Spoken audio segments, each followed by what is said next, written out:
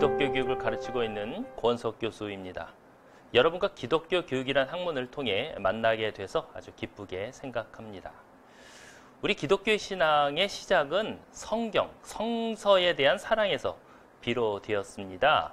그 무엇보다 하나님의 말씀인 성경에 권위를 두는 신앙이 바로 종교개혁 신앙의 핵심이기도 하지요.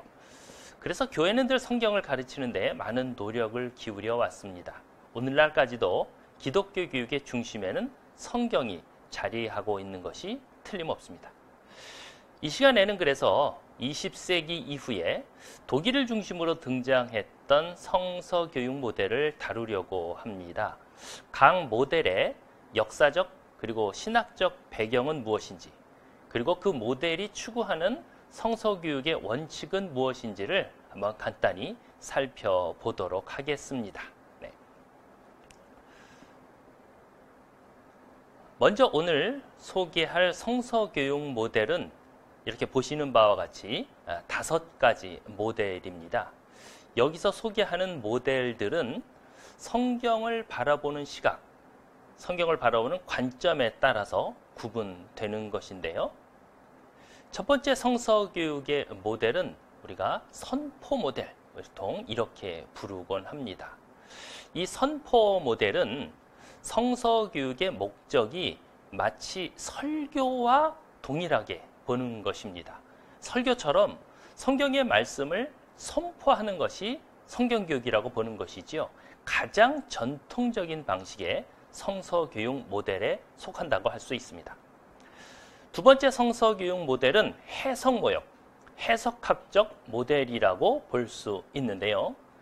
해석 모델은 단순히 선포하는 행위로 그치는 성서교육에는 문제가 있다고 보았습니다.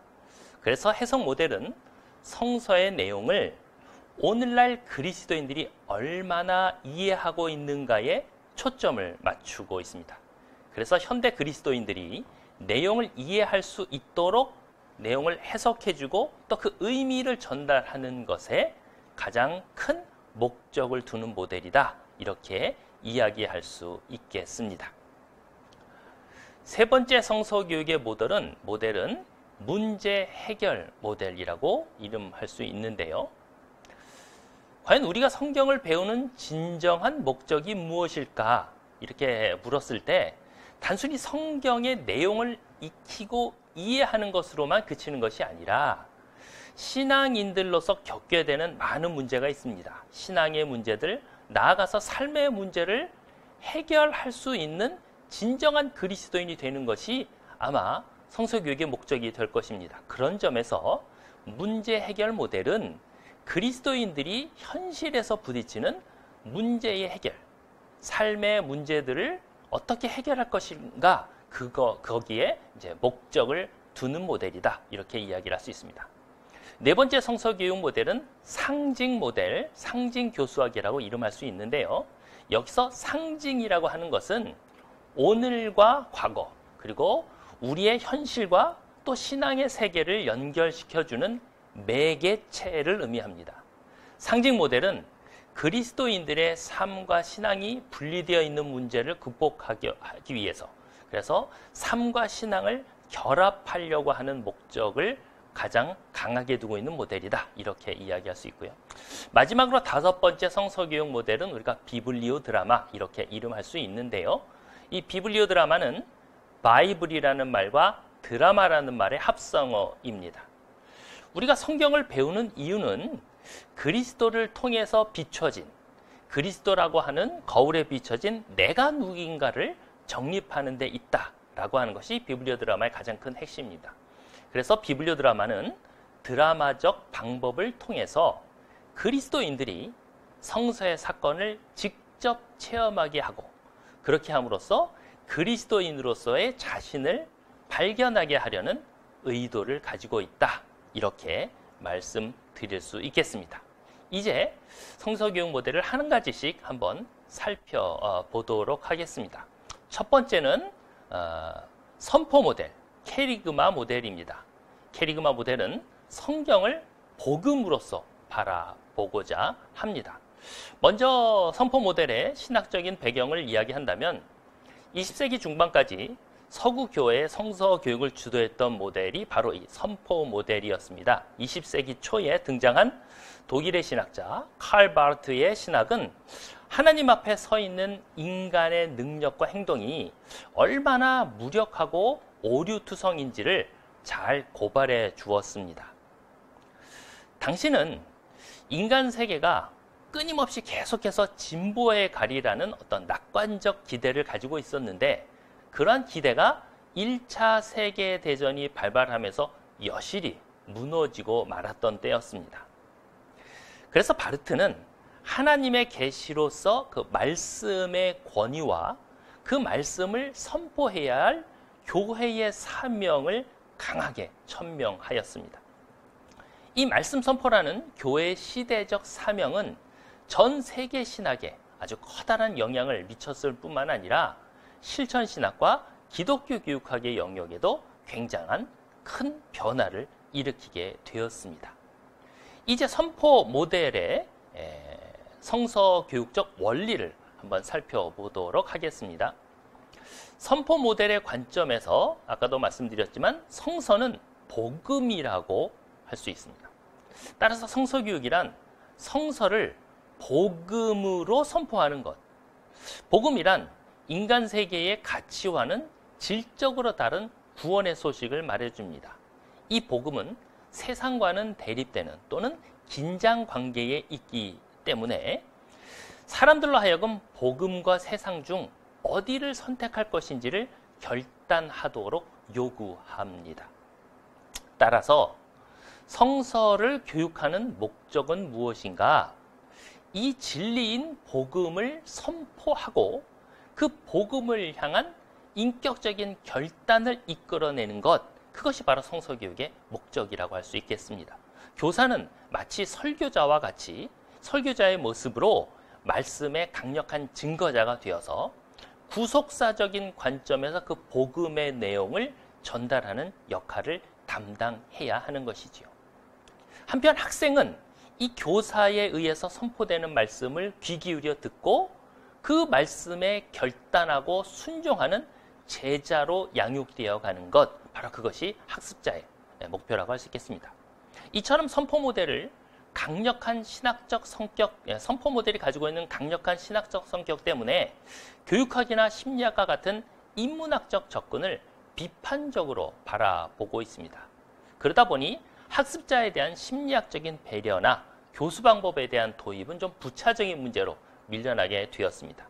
왜냐하면 이 선포 모델에게 있어서 신앙은 근본적으로 교육학적인 의도나 대상이 아닌 것으로 보고 있기 때문에 그렇습니다. 두 번째 우리가 설명해야 될 모델은 해석 모델, 해석학적 모델입니다. 이 모델은 성서를 이해해야 할 대상으로 보고 있는데요. 배경을 먼저 한번 살펴보도록 하겠습니다. 20세기 중반을 넘어서면서 방금 설명한 선포 모델이 지나치게 권위적인 방식이라는 문제가 제기되었습니다. 또 교육적 측면에서 볼 때 성서 교육이 선포자의 입장에서 접근하다 보니까 학생의 입장을 전혀 고려하지 않는 교육이 되고 말았습니다. 그래서 선포자의 입장에서 말씀에 대한 신앙을 강조하고 강요할 것이 아니라 학생들이 성경을 잘 이해할 수 있도록 가르쳐야 하지 않겠느냐라는 의견이 강하게 등장하게 되었죠. 그래서 학생들이 성경을 이해할 수 있어야 성경을 믿고 순종하리라고 보았기 때문에 그렇습니다. 바로 이러한 상황에서 등장하게 된 것이 바로 이 해석학적 모델인 것입니다. 특별히 당시 철학계나 신학계에서는 이 해석학에 대한 아주 큰 관심을 기울이고 있었던 때이기도 합니다.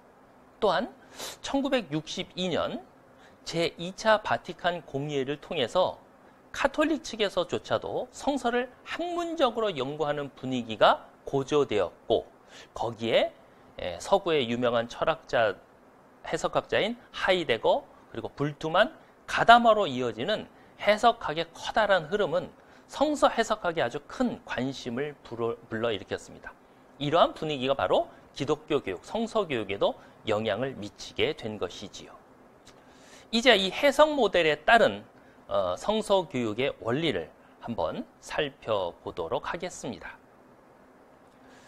해석 모델은 성서 교육이 신학적인 근거 못지않게 교육학적인 근거, 인문학적인 근거도 가져야 한다고 강조를 합니다. 성서 교육이란 성경의 가르침에 맹목적으로 순종하도록 요구하는 것, 그것만이 아니라 성서를 바르게 이해하고 성서에 대한 깊은 통찰을 갖는 것이라고 보았던 것이죠. 다시 말해서 성경이 먼저 이해되어야만, 잘 이해되어야 신앙이 생겨날 수 있다라고 본 것이 해석학적 모델의 제1원칙이라고 할 수 있습니다. 해석학적 모델에서 볼 때 성서는 오래전에 있었던 이스라엘 민족과 유대인들의 역사 가운데서 기록된 그런 책이라고 할 수 있죠. 문제는 그 시대, 성서의 시대와 오늘 사이에는 쉽게 건너기 쉽지 않은, 건너기 쉽지 않은 그런 역사적인 간격, 문화적인 간격이 있다라는 것입니다. 성서는 아주 오래전에 기록된 책이기 때문에 그 성서를 제대로 이해하기 위해서는 어떤 적절한 절차, 즉 해석의 과정을 거쳐야 한다라는 것입니다. 바로 여기에 해석학적 모델의 제2원칙이 등장합니다. 다시 말해서 해석 없는 성서 교육은 존재하지 않는다는 것입니다. 문자적으로만 받아들이는 성서 교육이 아니라 해석이 필요하다는 것입니다. 그래서 성서 본문에 대한 진정한 이해는 해석의 작업을 통해서만 이루어질 수 있다라고 보았고요. 해석은 그 역사의 세계, 즉 성서의 세계로 나아가서 그 옛날 모세나 뭐 다윗 또는 베드로와 바울의 시대를 구체적으로 이해할 수 있도록 개방시키는 역할을 하게 됩니다. 그리고 그 과거를 잘 해석함으로써 오늘 우리를 위한 현실적인 의미를 일깨워주게 된다는 것이죠. 결국 해석 모델은 성서 본문을 적절하게 해석해 나감으로써 오늘의 학습, 학습자들에게 성경의 진정한 의미를 이끌어낼 수 있고 그러므로 말미암아 그들이 참된 신앙의 길로 나아갈 수 있으리라고 믿었던 것입니다. 이제 세 번째 모델을 살펴보겠습니다. 세 번째 모델은 문제 해결 모델입니다. 성서를 현실 문제 해결의 실마리로 바라보는 성서 해석 아, 모델이라고 할 수 있는데요. 그 배경을 보면 20세기 후반에 들어서면서 전 세계는 기술 문명 사회로 자리를 잡게 되었습니다. 예를 들어 뭐 아폴로 15호가 달에 착륙하는 일이 있었고 뭐 보잉 747을 통해서 제트기 시대의 막을 열었습니다. 이러한 어, 사건들은 젊은이들에게 과거보다는 미래 시대를 향한 기대감을 불어넣기에 충분했습니다. 또 반면에 70년대, 80년대에 일었던 그런 학생 운동의 결과로 젊은이들에게는 어떤 과거에 대한 권위 또는 종교, 국가 같은 전통적인 가치보다는 평등, 해방, 인권 같은 진보적인 이념들에 사로잡히게 만들었습니다. 이러한 분위기 속에서 기독교 신앙에 대한 관심은 급속도로 사그러들기 시작 했던 겁니다. 점차적인 종교적인 무관심이 확산되었고요. 교회를, 교회를 떠나는 젊은이들의 수가 급속도로 늘어나게 되었습니다. 이러한 분위기 속에서 교회는 성서 교육에 대한 심각한 위기를 느끼게 되었고 과거가 아닌 현실과 미래를 지향하는 현대인들의 요구 앞에서 성경의 내용만을 전달하려는 기존의 성경 교육 방식을 근본적으로 제고하지 않을 수 없게 되었던 겁니다.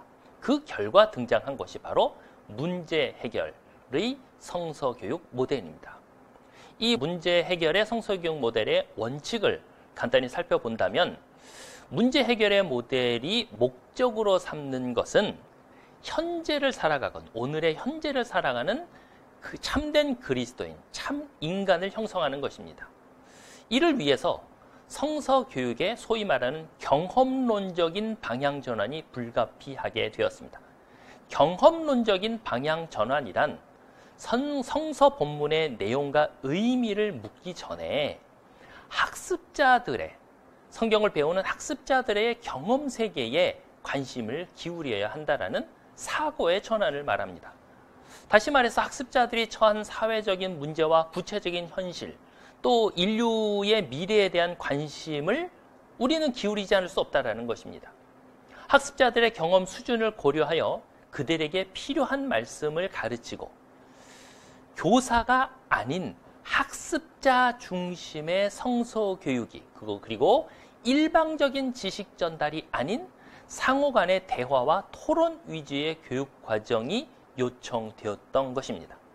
사실 오늘날 청소년들, 청년들이 고민하는 문제가 여러분들은 무엇이라고 생각합니까? 그리고 그 문제들이 교회 신앙교육에서 잘 다뤄지고 있다고 생각하십니까? 그렇지 않습니다.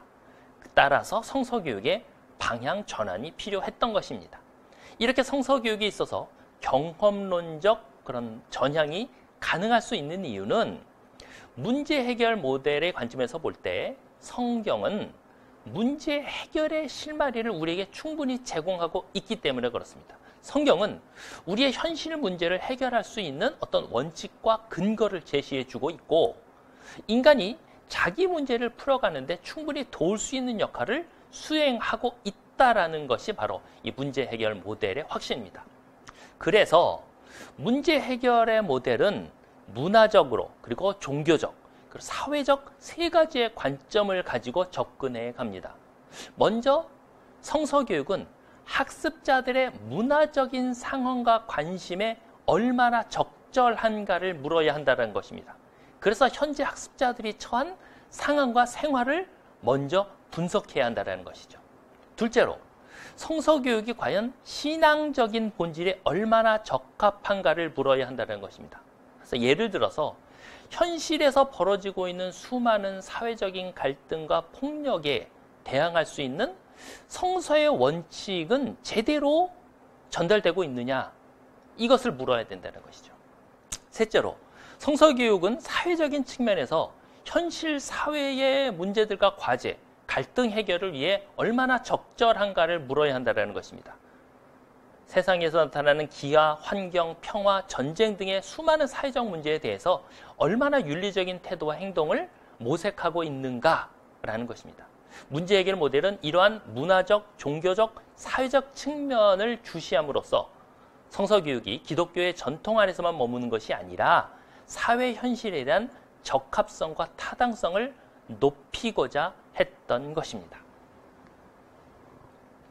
네 번째, 에, 상징 모델입니다. 우리가 상징 교수학이라고 이름 부르는 것인데요. 성서를 상징으로 바라보는 것입니다. 그 배경을 먼저 살펴보면 이제 20세기 말이 지나면서 지구촌 곳곳에서 많은 위기 현상이 발생했습니다. 예를 들면 근대 과학 기술의 발전 가운데 자행된 환경 오염은 아주 심각한 수준에 이르게 되었죠. 그래서 심각한 생태학적 문제를 야기시켰습니다. 또 사람들은 부와 성공만을 지향하다 보니까 거기서 상처를 입고 자아를 상실하고 뭐 인간성이 파괴되는 그런 현실을 그런 현실 속에서 우리는 살아가고 있는 것이지요. 문제는 이러한 현대인들의 실제 문제를 우리의 실제 삶 속에서는 그 위기 상황을 제대로 감지하지 못하면서 그냥 우리들은 묻어나게 살아가고 있다는 것입니다. 그래서 인간들이 기본적인 아주 구체적인 사항에 대한 감지 능력을 회복해야 한다는 자성의 목소리가 높아지게 되었습니다. 한편으로 우리 개신교 신학은 오랫동안 말씀의 신학으로 불려져 왔었습니다. 그러다 보니 교회에서 늘 말씀의 선포와 또 선포에 대한 들음이 강조되어 왔습니다. 이러한 신학적 흐름은 성서 교육에 있어서 뭔가 들음 이외에 보고 느끼고 체험하는 그런 감각적인 부분이나 몸짓과 행동의 신체 언어를 소홀히 여기게 되었고 그러므로 말미암아 말씀과 삶이 분리되는 경향을 낳고 말았습니다. 상징교 수학은 이런 말씀과 삶의 통합 그리고 구체적인 지각 능력의 회복의 과제를 안고 등장한 성서 교육 모델이라고 할 수 있겠습니다. 이 상징 교수학, 상징적 성서 교육 모델의 원리는 이렇습니다. 상징 모델은 상징의 의미를 가르치는 것이 아니라 상징이라는 매개체를 통해서 성서를 가르치려는 노력입니다. 상징이란 무엇인가? 상징이 성서교육에 등장하게 된 이유는 상징이라는 것은 구체적인 우리의 삶의 영역과 신앙적인 초월적인 영역을 연결시킬 수 있기 때문인 것입니다. 이 상징이라는 말은 언어적으로 서로 따로 나뉘어져 있는 것을 서로 결합시켜서 하나 되게 한다라는 의미를 가지고 있습니다. 그런 말이 심볼입니다. 상징은 세속적인 영역과 초월적인 영역, 그리고 이 피한적인 영역과 차한적인 세계를 결합하는 매개 역할을 할 수 있다라고 보는 것이지요. 우리는 상징의 예로 우리가 잘 알고 있는 우리 손을 한번 들 수 있습니다. 뭐 우리는 거의 모든 생활에 있어서 손을 사용하게 되죠. 따라서 누구나 손과 관련된 특별한 체험과 기억들을 가지고 있습니다. 뭐 어떤 분은 손을 다친 경험이 있는가 하면 또는 누군가의 따뜻한 손을 잡아본 경험들이 있을 겁니다. 사랑하는 사람의 손을 잡았던 아름다운 추억이 있는가 하면 또 누군가에게 손깍지를 다, 손가락질을 당했던 그런 아픈, 슬픈 경험도 있을 것입니다. 결국 손은 그저 우리들이 뭔가 도구로 삼는 손이 아니라 나의 삶과 다른 세계가 만나고 접촉하게 되는 하나의 중요한 매개물이 되는 것입니다. 그런데 성경에도 보면 손이 자주 등장하지요. 죽음의 위협 앞에서 홍해를 가르기 위해 홍해를 가르기 위해 들어올렸던 모세의 손을 우리는 기억합니다. 제자들을 부르시며 내미신 예수님의 손을 또 우리는 기억할 수 있지요. 모두가 다 떠난 상황에서 홀로 기도하셨던 예수님의 어떤 기도의 손, 외로운 손이 있습니다. 혈루증을 앓던 한 여인이 예수님의 옷을 만지려고 내밀었던 손을 우리는 기억합니다. 이렇게 내 손을 바라보며 떠올렸던 외롭고 또는 아팠던 경험, 기뻤던 경험, 그런 경험을 비슷한 상황 속에 있었던 성서의 사건과 연결시킬 때 우리는 내 삶과 성서의 신앙 세계가 같이 만날 수 있고 성경을 성경의 사건을 통해서 내 삶의 문제와 아픔을 치유하게 되는 경험을 갖게 됩니다. 이처럼 우리 주변 세계에서 쉽게 접할 수 있는 대부분의 것들은 우리의 삶과 신앙 세계를 연결시켜 줄 수 있는 상징, 매개물로의 역할을 할 수 있다라는 것이 바로 이 상징 교수학의 핵심이라고 할 수 있겠습니다. 마지막으로 다섯 번째 모델인 비블리오 드라마를 살펴보도록 하겠습니다. 비블리오 드라마의 관점에서 성서는 우리의 영혼을 비추는 창, 창문이라고 어, 정의할 수 있겠습니다. 비블리오 드라마가 등장하게 된 배경은 이렇습니다. 21세기 교육 상황이 요청, 요청하는 중요한 세 가지 개념들을 한번 이야기한다면 체험, 또 전인, 즐거움을 이야기할 수 있겠습니다. 먼저 현대 사회는 체험 사회라고 얘기할 수 있어요. 현대인들은 삶 속에서 의미 있는 체험을 하기 원합니다. 그것도 스스로 체험하기를 원하죠. 체험할 수 없는 곳에는 결코 오랫동안 머무르려 하지 않습니다. 둘째로 현대사회는 전인적 차원의 교육을 요구, 합니다 지식으로 멈추는 교육이 아니라 감성과 행동을 자극할 수 있는 교육을 원하고 있습니다. 셋째로 현대인들은 즐거움을 갈망하죠. 아무리 그것이 옳고 선한 것일지언정 내게 즐겁지 않으면 참여하기를 꺼려하는 것이 현대인들입니다. 따라서 21세기 신앙 공동체 역시 현대 사회가 요구하고 있는 이 교육 상황을 고려하지 않을 수 없습니다. 말씀이 우리들 자신들의 삶 속에서 구체적인 의미로 체험되어야 하고 지식적인 차원을 넘어서 감성적이고 행동적 차원까지도 포괄할 수 있는 전인 교육이 이루어져야 하고 또 교육의 과정 속에서 흥미를 유발하고 즐거움을 안겨주는 그런 교육이 이루어져야 할 것입니다. 이러한 현대사회의 세 가지 요청을 충족시킬 만한 성서교육의 방식이 바로 비블리오 드라마다 이렇게 이야기할 수 있겠습니다. 비블리오 드라마가 추구하는 원칙을 간단히 한번 살펴보겠습니다. 비블리오 드라마를 간단히 정의한다면 성경의 이야기를 바이블을 드라마로 재현하는 것이다. 이렇게 이야기할 수 있겠습니다.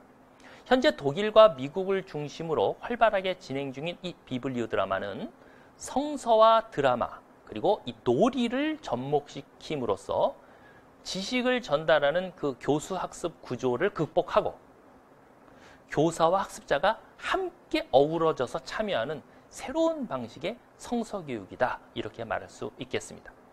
비블리오 드라마는 성극과는 다릅니다. 성극과는 다릅니다.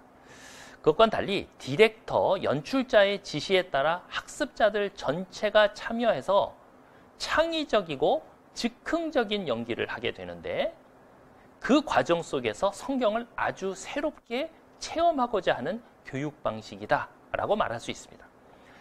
그래서 비블리오 드라마는 성서의 흰 불꽃과 노는 것이다 라고 말할 수 있습니다. 유대 미드라시 전통에 따르면 성경은 검은 불꽃과 흰 불꽃으로 이루어져 있다라고 말을 합니다.